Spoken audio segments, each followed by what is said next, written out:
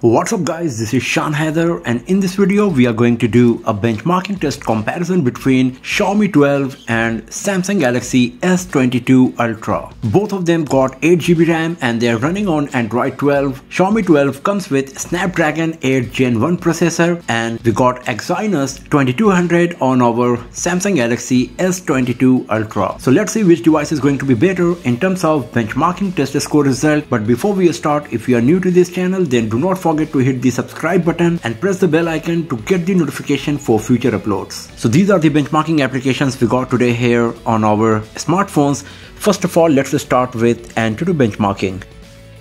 So here you can see that Xiaomi 12 scored 955,252 and Samsung Galaxy S22 Ultra scored 930,720. So the winner is Xiaomi 12. If we go to the individual test score result. Here you can compare the result of CPU GPU memory and UX and as you can see that in GPU memory and UX performance of Xiaomi 12 is better. And in CPU Samsung Galaxy S22 Ultra is performing a bit better. The difference is nearly negligible when it comes to UX, but the primary difference is coming from the GPU and memory. And our concern is the overall score. And in that the winner is Xiaomi 12. Let's go back from here. Let's have a look on the next test and that's Geekbench 5. So here in single core, Xiaomi 12 scored 1203 and 3702 in multi-core, while Samsung Galaxy S22 Ultra scored 1167 in single core and 3723 in multi-core.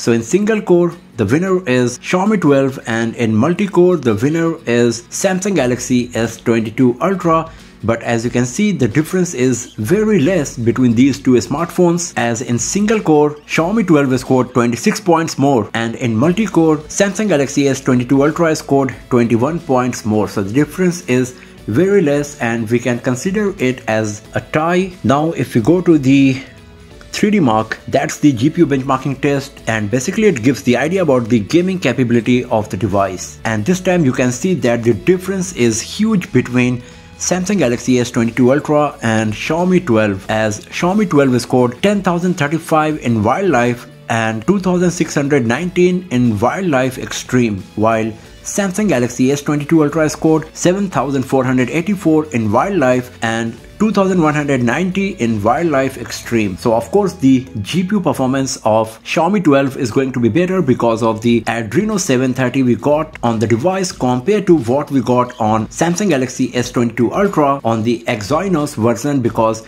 we are getting the same kind of result on antutu benchmarking as well when it comes to gpu so out of three in two of them, the winner is Xiaomi 12 and one test, the Geekbench 5, we can consider it as a tie. And considering all of these three, the winner is Xiaomi 12 here compared to the Exynos version of Samsung Galaxy S22 Ultra. So that's all for now friends, thanks for watching this video.